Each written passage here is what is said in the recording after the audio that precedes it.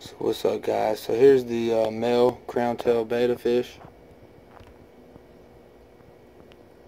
Pretty neat looking betta fish. Black with like white fins. Like kind of like bright blue in there also. I went to the pet store not looking to get anything honestly. But when I come across him I, I had to get him. You know, I was wanting to eliminate this little 10 gallon tank but it's a perfect little betta home. Now, little guppies are in this breeder. Ended up having to set it up because I knew he would probably end up killing them. And um, I also think one of my other female guppies is pregnant. I'll probably transfer over here and also put her in there. But yeah, see, all right, you can see the blue. You see how it's like bluish.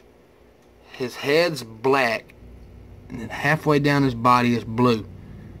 Yes, it's a neat looking, neat looking fish, man. Ooh. Anyways, guys, hit that like button, subscribe if you haven't subscribed, and I'll catch you on the next one. Peace out.